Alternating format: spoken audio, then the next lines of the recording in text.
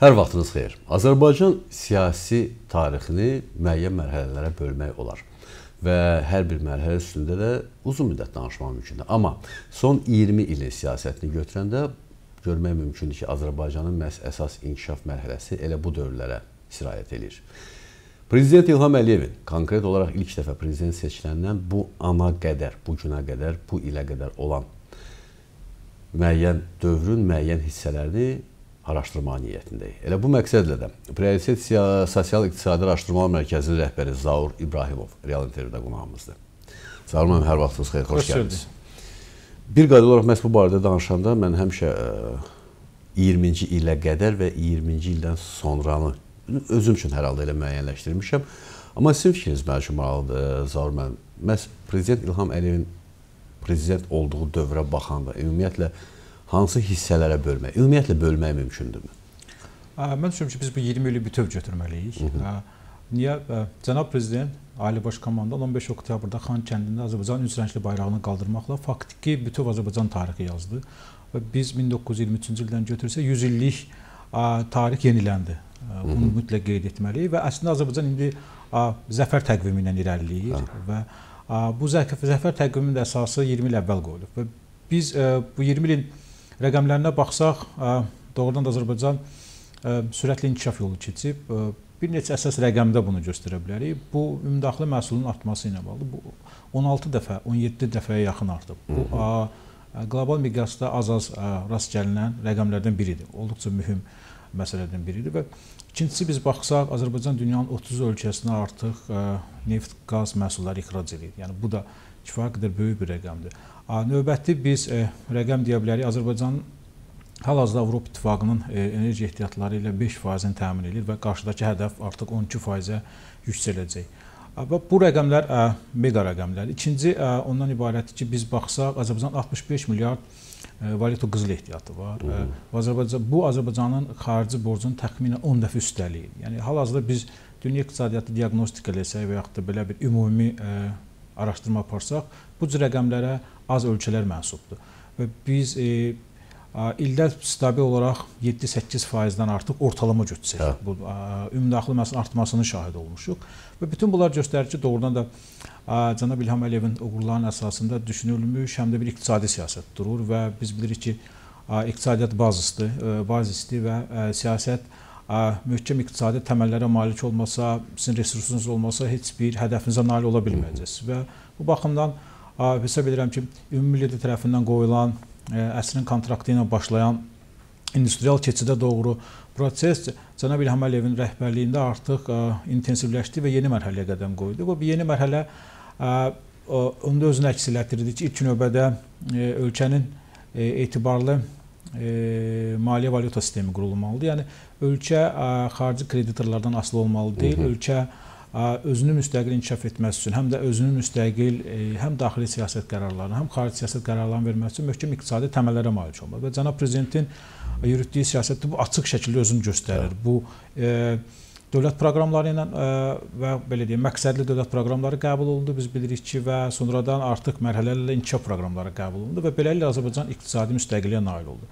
Növbəti mərhələdə Azərbaycan bu iqtisadi potensialını artıq regiona daşıdı və regiondan kənara daşıdı. Bu nədə baş verdi? Bu bütün həm Cənub Qafqazda inteqrasiya proseslərini dəstəkləyən, həm də regional inteqrasiya proseslərini dəstəkləyən mega layihələrdir. Yəni bu layihələri çox az ölkə MDB miqyasında həyata keçirib. Hətta mən deyərdim ki, Avropa miqyasında bu Bakı-Tbilisi-Qars dəmir yolu xətti və o cümlədən Bakı-Tbilisi-Ceyhan neft kəməri və bunun arxasında daha böyük layihə olan və hal-hazırda belə deyək, Azərbaycanın strateji dəyərini artıran Cənub qaz dəhlizini qeyd edə bilərik və bunlar bunlara üstə gəl beynəlxalq nəqliyyat dəhlizləri, bu şimal-cənub nəqliyyat dəhlizi biz qeyd edə bilərik və o cümlədən hal-hazırda şərq-qərb nəqliyyat dəhlizi, hansı Transxəzər nəqliyyat dəhlizi deyirik, orta marşrut deyirik. Hal-hazırda bu işlənilir. Və biz baxsaq, cənab prezident bunlarla kifayətlənmir. Bu biz baxırıq prezident İlham Əliyevin siyasəti daim zamanı qabaqlayır və yaxud da zamanla oynayır. Məsələn, Biz qeyd edə bilərik, hal-hazırda biz yaşıl enerji keçid və Avropaya yaşıl dəhliz açılması və yaşıl enerjinin tranziti.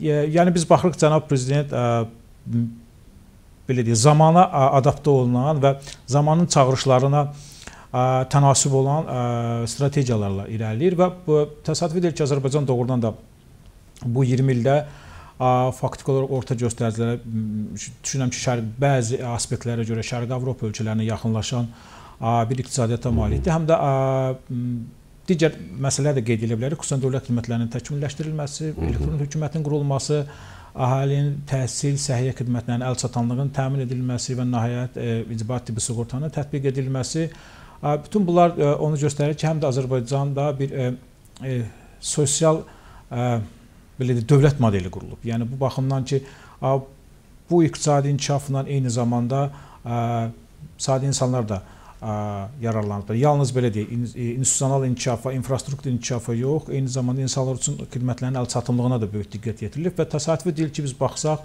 son 15 ildə Azərbaycanda 100 milyard dollardan çox birbaşa investisiya qoyulub. Bu da doğrudan böyük rəqəmdir və biz bu gün yollarımızla hərəkət edəndə, biz bu gün asan xidmətdən istifadə edəndə, biz dost xidmətindən istifadə edəndə, icbari tibbi sığortadan istifadə edəndə və biz e, günə-günə abadlaşan şəhərlərimizə, rayonlarımıza gedəndə həmin o investisiyaların təsirinin, müsbət təsirinin şahidi oluruq. Söhbət sosial-iqtisadi məsələlərdən gedirsə, mən bir qayda olaraq eyni zamanda mənim üçün çox maraqlıdır. Həm xarici diplomatiya, siyasət və ən vacib olan problemimizin həlli, onunla paralel eyni zamanda ölkə daxilində olan problemlərin həlli. Hər ikisi çox çətin istiqamətdir və hər ikisinin çox çətin istiqamət olmasına baxmayaraq belə hər ikisini paralel olaraq həll etmək e, bu, bu nədir? Bu, bu hansısa bir fenomendir, yoxsa bu konkret olaraq düşünülmüş, müəyyənləşdirilmiş, müəyyən strategiya əsasında hesablanmış bir yol xəritəsidir? Mən düşünürəm ki, biz buna yol xəritəsi deyə bilərik. Biz cənab prezidentin 20 illik siyasətində bir, bir qızıl prinsipin şahidi olduq. O Azərbaycan ərazi bütövlüyü, suverenliyi və milli müstəqillik ilə bağlı hər hansı bir məsələdə zərrə qədər güzəştə getmədi. Hı -hı və son ana qədər bu məsələlərin tam həcmdə və Azərbaycanın milli maraqları çərçivəsində həll olunması israr elədi. Bütün təzyiqlərə baxmayaraq. Və indi e, artıq retrospektiv təhlil elində hə. biz bilirik ki, müxtəlif modellər olub. Bu Kazan razılaşması, hə. bundan sonra Rambuya danışıqları və bunun arxasınca Madrid prinsiplərinin yenilənməsi, lakin biz bütün bu mərhələlərdə görürük ki, prezident e, bu məsələdə zərrə qədər güzəştə getməyib. Ha. Bu birincisi. Qətiyyət var. Qətiyyətlə, ikinci ha. çox qətiyyət var. İkincisi nə idi? Azərbaycan yalnız özü bu məsələdə güzəştə getmədi, həm də qlobal miqyasda ərazi bütövlüyü, sərhədlərin toxunulmazlığını bir qızıl prinsip kimi beynəlxalq diplomatiyanın ə, e, təməl prinsipi kimi irəli sürdü və buna nail oldu. Yəni siz baxın, bütün ə, e, 20 ili baxın, Azərbaycan heç bir ölkənin ərazi bütövlüyü, suverenliyi ilə bağlı məsələdə geri çəkilməyib. Yalnız Azərbaycan diplomatiyası bu prinsipi qoyub və hal-hazırda da bu prinsiplə davam edir. Və bu baxımdan bu açıq aydın görünür ki, cənab prezident ə, artıq hakimiyyətə gələn kimi bununla bağlı bir vahid baxışa malik olub. Hı -hı. Bir strategiya malik olub. Bu əlbəttə şərait dəyişirdi, mürəkkəb geosiyasi proseslər baş verirdi və artıq biz bunu indi öz gündəlik həyatımızda da hiss edirik ki, yeni dünya nizamının qurulmasının əsası xeyli əvvəl qoyulmuşdu və indi artıq bu rəqabət prosesləri gərginləşib. Lakin ə, əsas məsələ nə idi? Strategiyanın çərçivəsi müəyyənləşmişdi. Ha. Cənab prezident strategiyanın çərçivəsi müəyyənləşmişdi ki, Azərbaycan bütöv olmalıdır, bütün sərhədləri boyu öz suverenliyini bərpa etməlidir, işğalı aradan qaldırmalıdır, işğal nəticələrini aradan qaldırmalıdır və bunun üçün də nə etməlidir? Güclü iqtisadiyyat, mən birinci təsəvvürünü qeyd etmədim. Güclü ordu. Ha.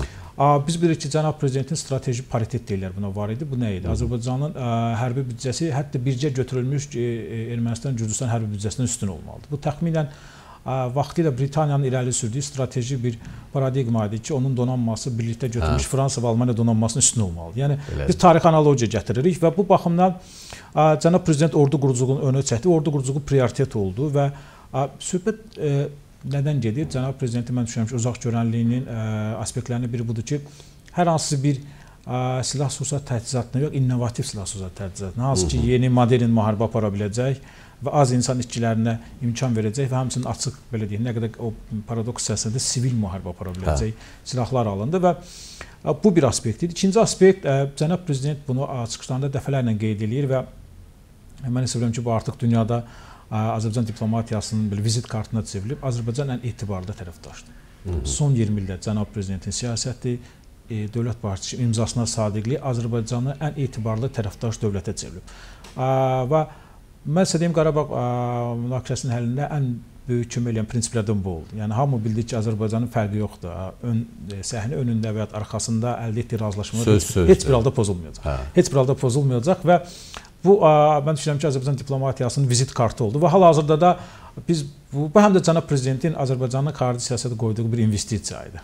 yəni Hı -hı. biz indi o investisiyadan istifadə edirik. Hansı ki, Avropa ilə biz ə, qaz sazişi imzaladıq və Avropa İttifaqı ə, doğrudan da əmin olub ki, Azərbaycan ə, ixrac ilə bağlı öhdəlikləri üzərinə götürürsə, deməli onu yerinə yetirəcək. Niyə yerinə yetirəcək? Çünki prezident İlham Əliyev söz verib. Və prezident İlham Əliyev söz verib bir qızıl paradigmaya və qızıl ortaya çevrilib belə deyə və ə, bu baxımdan Bu növbəti uzaqgörən bir addım nə idi? Bu regional inteqrasiya idi. Cənab prezident İranla mürəkkəb münasibətlərə baxmayaraq Şimal-Cənub nəqliyyat dəhlizinin inkişafında vaxtında çox düzgün addımlar atdı və artıq Şimal-Cənub nəqliyyat dəhlizi çox intensiv şəkildə işləyir və Azərbaycan-İran nəqliyyat şəbəkələri birləşib bilirsiniz bizim o Astradan keçidimiz var. Hətta Azərbaycanın investisiyaları İran İran tərəfdə bir anbar sistemi də qurulur. Bu o, olduqca belə mühüm oldu.